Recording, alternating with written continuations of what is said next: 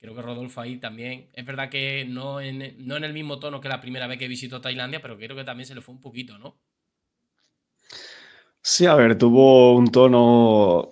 Mm, la gente decía quizás eh, chulesco, ¿no? Ahí un poquito en esas eh, palabras.